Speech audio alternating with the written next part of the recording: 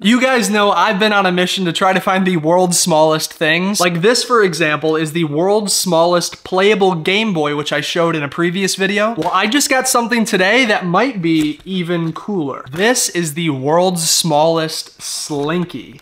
Now, I have to be honest, it was hard getting my hands on one of these. Who else is buying the world's smallest slinky is what I have to ask. Oh my gosh. It's already doing the slinking. Oh my gosh. This is like the best fidget toy ever. When I bought this, I honestly thought it was gonna be more of just like a giant spring, but this is definitely just a slinky. Between the world's smallest slinky and the world's tiniest playable Game Boy, what other small things should I try?